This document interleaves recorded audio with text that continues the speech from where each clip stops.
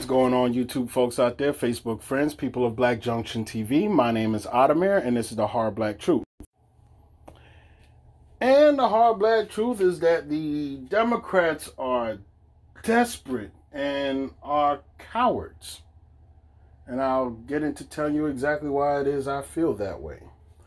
Uh, because today was day one of the Democratic National Convention. They're doing it virtually, no more large stadiums, large audiences.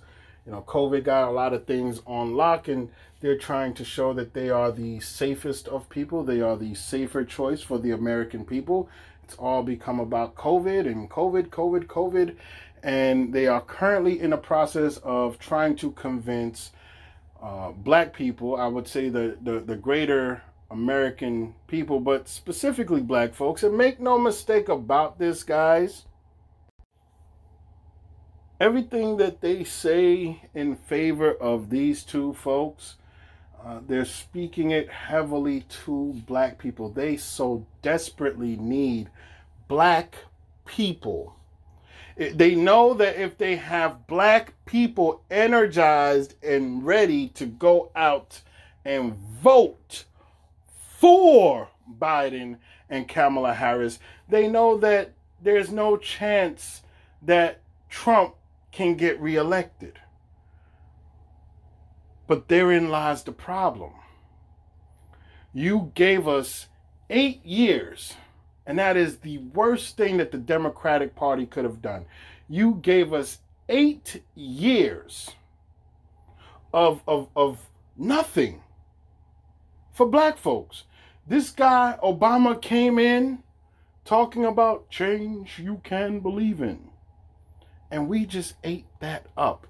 And we thought that there was some sort of Morse code. And there were folks out there, um, many of whom I ignored at the time.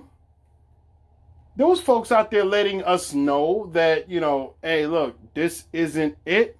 This isn't your guy. He's come out telling you plain as day that he's going to be doing a lot of things for LGBTQ. And when it comes to you, all he's telling you is change you can believe in. And we were out there like, hey man, nah, he can't come out and just say it like that. You gotta get in office first, man. You know, let him get in office first. And he's telling you it's change you can believe in. And I harken back to when he was elected and there was that young black lady that Fox News played the hell out of. And she was sitting there crying tears of joy, telling herself, I don't have to go to work. I don't have to pay my bills.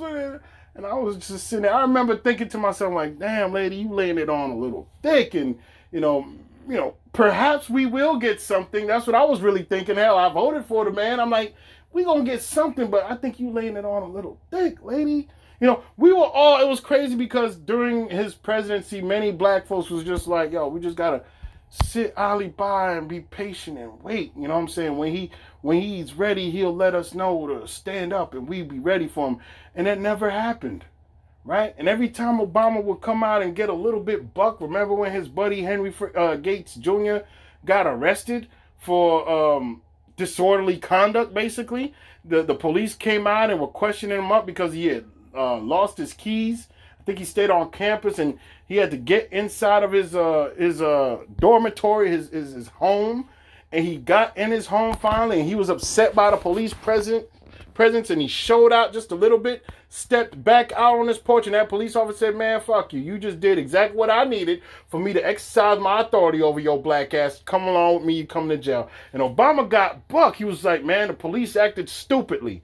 And it was crazy. He received so much of a heavy backlash from the right wing media and many black people. They had no shortage of coons and coonettes I still remember that one black police officer. I, I voted for him and never again. And talk about the police acting stupidly. And what did he end up doing? Uh, he had them all sit down and have a beer. You had one man who locked up another man, one man who shackled another man simply for speaking his mind. That's that's crazy shit to think about. That that white officer exercised his authority much in the same way that they did back during the days of old, right? Those slavery days.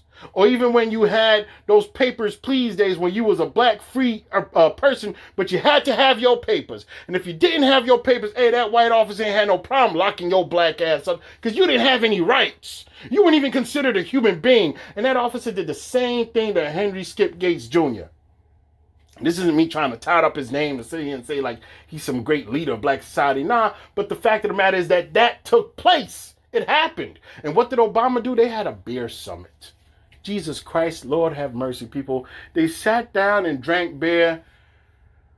Nothing happened. That was it. We had several police shootings, and Obama will come out and directly address black people. And what would he say? When it came time for him to speak directly to us, you guys need to pull up your pants and get a job and stop killing each other and stop doing like the only thing you had to tell us was was chastise us the entire eight years of his presidency, not one police officer was convicted. They trotted out Eric Holder. We have these black people. Like all of a sudden, black faces started popping up in positions of authority all over the nation. Even the Republican National uh, uh, Party, they had Michael Steele that they put in office just random out the way. Just had this big goofy Negro they, they just propped up out of the way. Black folks were all over the place with Obama, and nothing happened. How about that? See, it was easy to get us caught up into voting for him in the first place because, again, he talked about change we could believe in, and he didn't have a history. But with Joe Biden and Kamala Harris, we know that they have no problem implementing uh, uh, new laws and, and introducing new legislation that they know will have a negative adverse effect on black people. They like the three strikes law. I just got done doing a whole video on how the three strikes law was used to convict a woman for life when they caught her with weed. They caught her with weed. They caught this woman with marijuana in her car and they gave her a life sentence. And she attempted to appeal it during the Obama years. And, and she's still in prison to this day, folks. She is still in prison to this day. That's that's the legislation put out there by Joe Biden right there. And Kamala Harris as a prosecuting attorney or whatever, you think she was doing anything in favor of your black ass? Hell to the no. This woman has been sponsored by the police unions. They know that she is friendly towards them. Yet they're going to sit there and trot out your Bernie Sanders, who's an independent, by the way. He's not even a Democrat. Bernie Sanders, who, when asked about reparations long ago, like two election cycles ago, he told you it would be too controversial. This same Bernie Sanders and the rest of the um, uh, uh, Democratic Party would have you believe that we can, as a great nation, join hand in hand and sing kumbaya.